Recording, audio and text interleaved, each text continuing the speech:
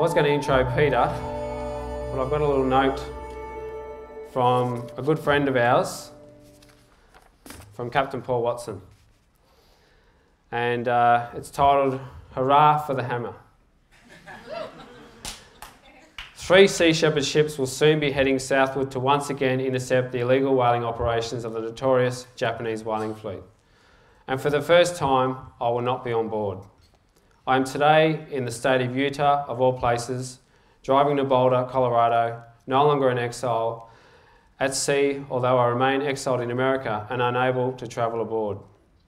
I would feel apprehensive about the ships departing without me, but instead I am confident that the vessels are in good hands under the direction of Sea Shepherd Australia and the command of Captains Sid Chakravarty and Peter Hammarstedt. Last season, they demonstrated both their courage and their passion, and along with their crews, they shut down the cetacean serial killers in the Southern Ocean.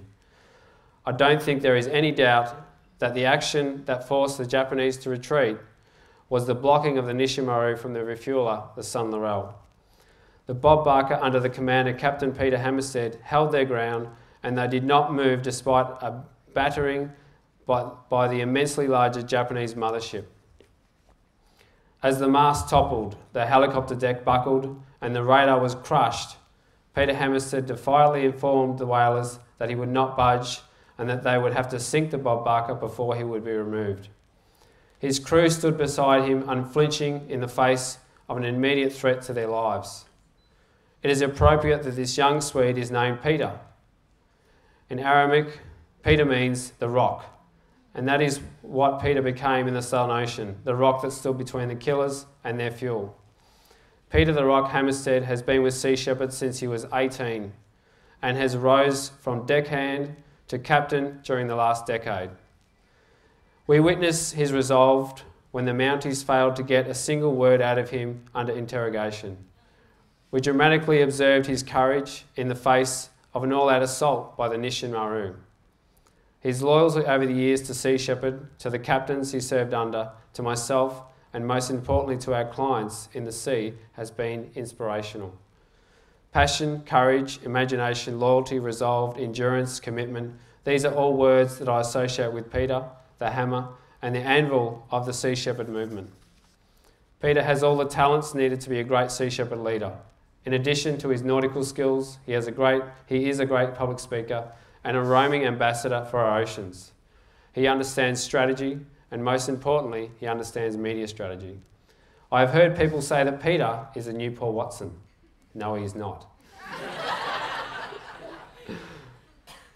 Peter is Peter, and his leadership skills are his own, moulded by his passion and guided by his own intuition. What he does share with me is the satisfaction of having discovered his life's work at an early age. He knows what he wants to do and has never had to fear or hesitation about the role he has chosen. He is a warrior for the oceans, a champion of life, an advocate for nature, and a sea shepherd captain. And I know that in 30 years, when he is at my age, he will still be on the front lines for there is no retreat from planetary duty. he was born a warrior and he will die a warrior, and I'm confident that his life will inspire others, and they will in turn inspire many others to pick up the banner of marine conservation. At an early age, not yet 30, he has already become an icon of the Sea Shepherd movement, and the future will see him become a legend. We are all seeds in a movement for the defence of nature, beauty, and diversity of life. Ten years ago, Peter was an acorn, and today he's an oak. Still young, but strongly rooted in his resolve to be an instrument of sanity in opposition to the ecological insanity of humanity. Captain Paul Watson.